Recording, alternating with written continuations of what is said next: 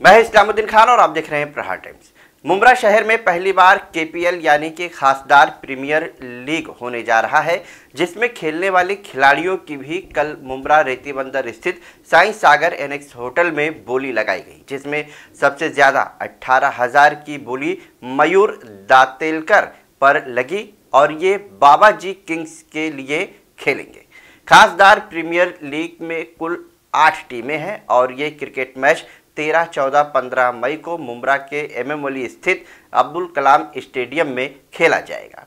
जानकारी के मुताबिक इस खासदार प्रीमियर लीग का आयोजन साजिद अंसारी और जावेद अंसारी यूनिटी ग्रुप के तरफ़ से किया जा रहा है।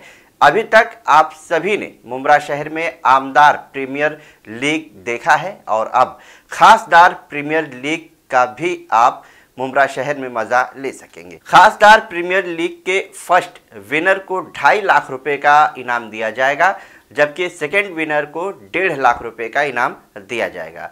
यानी कि आने वाले तेरह मई से खासदार प्रीमियर लीग मुमरा शहर में शुरू होने जा रहा है। और इसके बारे में ज़्यादा जानकारी अनवर कच्छी ने दी है, आपको सुनाते ये खासदार प्रीमियर लीग मुमरा में पहली बार हो रहा है। और 13 मई 14 मई और 15 मई को हो रहा है। और ये हो रहा है मौलाना अब्दुल कलाम आज़ाद स्टेडियम में कौसा में हो रहा है। और इसके अंदर आठ टीम है।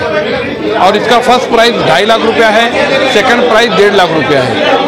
और इसका जो आयोजक है वो uni, unity group Javed Ansari साहब है और उनके भाई है साजिद अंसारी। यानी हमारी कोशिश काफ़ी टाइम से थी खादार चषक होने के लिए, मगर ये हम लोग 2019-20 में करने वाले थे, मगर कोरोना के कारण ये लेट हो गया। और ये खासदार चषक है, आप देखना, एक सबसे अलग ही रहेगा।